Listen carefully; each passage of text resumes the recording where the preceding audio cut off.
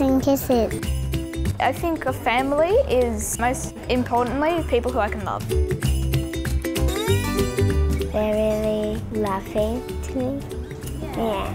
Go on holidays and play board games?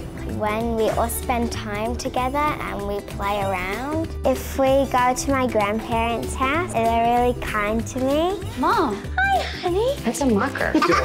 oh dear.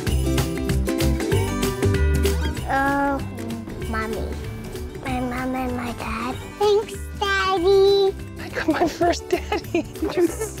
My sister is not very nice to me sometimes.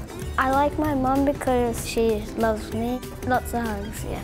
She buys me a lot of presents. I think she's always shopping.